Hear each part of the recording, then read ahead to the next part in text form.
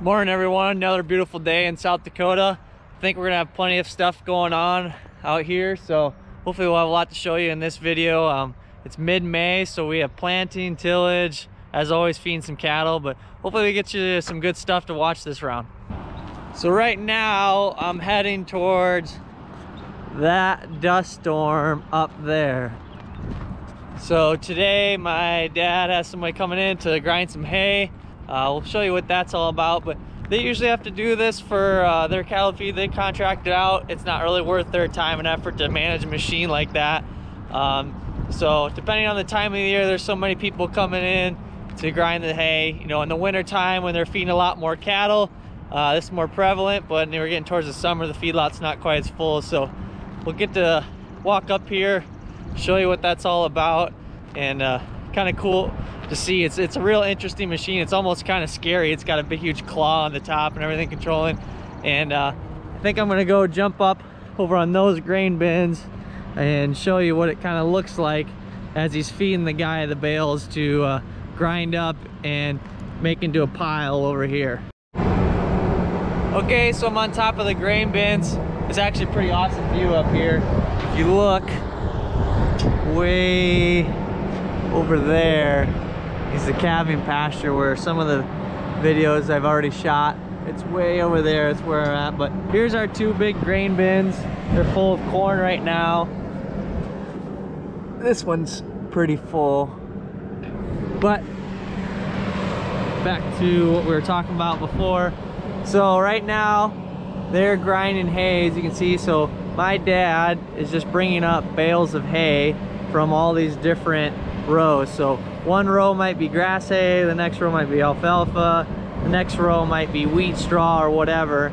And so he's just going, he'll pick up some bales here and then brings them over to the guy grinding hay and then he gets that kind of scary claw looking thing and throws them in there and then grinds it all up. So pretty interesting, real dusty because you're just fine grinding up that hay um, and then after it's all done, there should be a big pile uh, with the mixture that we'll use, and that's what you see dropping in the feed wagon.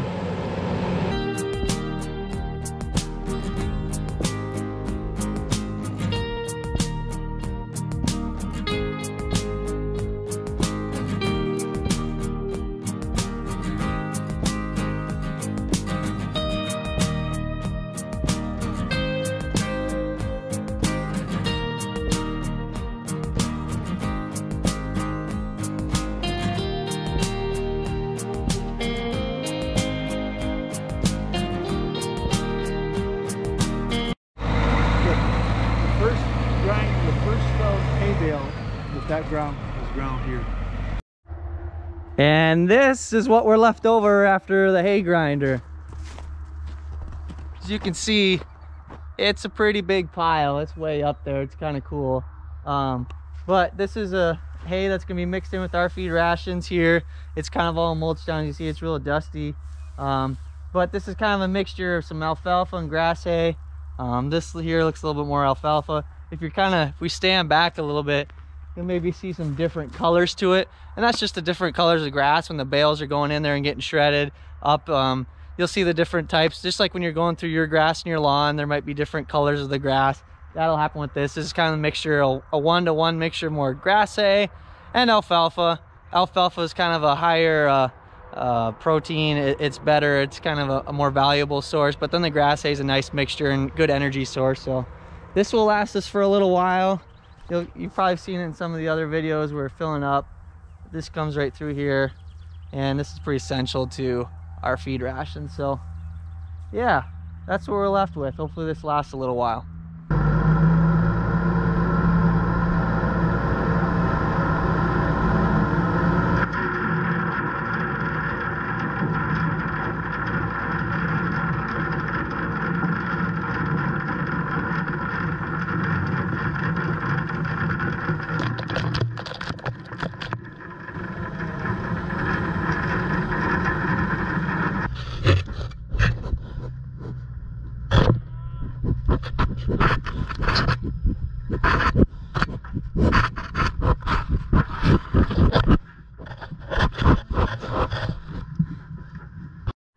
So my brother's just showing up here. He bought a couple loads of cattle. We're gonna get them added to the feedlot here. He should be pulling around here in just a second. Um, and we're gonna get those unloaded and we'll kind of walk through that too.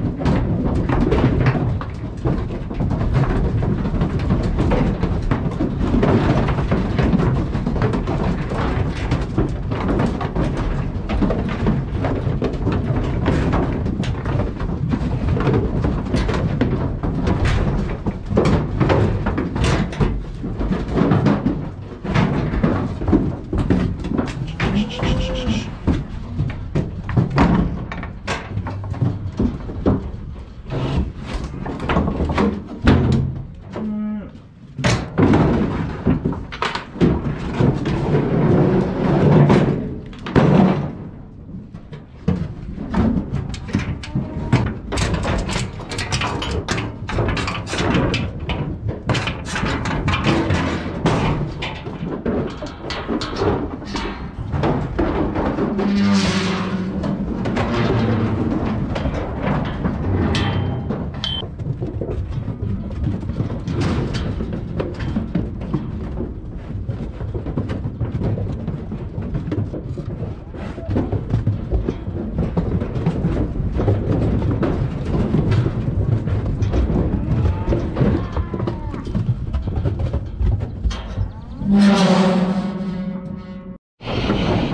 Okay, we picked up another load right here. Uh, we'll get this one unloaded and then that'll be it for the cattle coming in today.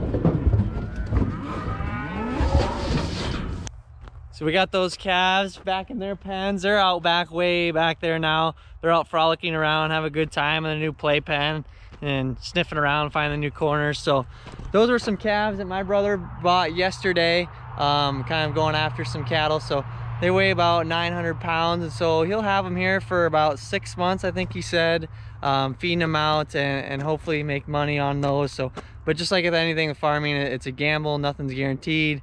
Uh, it's always a risk, but uh, that'll be a project for them out here. And uh, you know six months from now they'll maybe be 14 1500 pounds after getting all the feed that we've been giving them and uh, maybe someday be a steak on your plate or something like that. So man mom's growing some really weird flowers this year